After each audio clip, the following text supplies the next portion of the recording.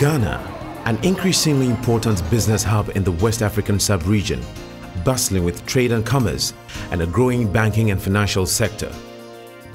For the first time, other African banks have opened offshore operations in Ghana, creating more opportunities for regional growth. Ghana is a good place to uh, do business. Um, the people are warm, the environment is friendly, the infrastructure is in place. Everything a businessman needs to be, do business and succeed is uh, certainly present in Ghana. And the two countries have much in common language, traditions, and a stable political and business environment. We think that we've uh, gotten to the stage where we take our brand beyond the shores of Nigeria. Zenith, the fourth biggest bank in Nigeria today, is taking banking to the next level, and Ghana is its first port of call. Banking is about finding out the needs customers and meeting those needs. Zenith is the leading bank as far as e-business is concerned. It's more like taking banking to the people. You should be able to do banking from your cell phone. You should be able to do banking anywhere. It's all about speed for better customer service. Zenith's hallmark has always been customer service. Prompt, flawless, and reliable.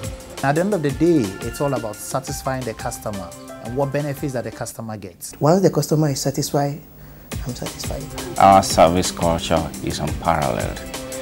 We recognize the fact that the customer is the essence of our being. The customer is the reason why we open our doors in the first place.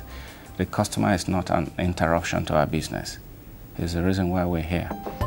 Service ambassadors walk the length and breadth of the banking hall, making sure that transactions do not take more than five minutes.